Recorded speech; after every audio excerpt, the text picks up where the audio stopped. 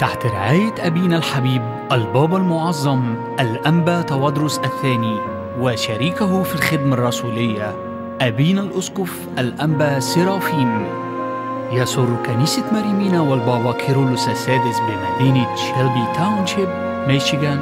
أن تقدم المعرض المسيحي الفني الأول من نوعه. يشمل المعرض لوحات زيتية مسيحية وأيقونات قبطية ويونانية وروسية وإيطالية. وأيضا لوحات خشب منحوت وحرق. ويحتوي المعرض على كثير من الهدايا والمعروضات المصنوعة يدويا مع هدايا الكريسماس وحلويات الكريسماس. زوروا موقعنا لحجز التذاكر.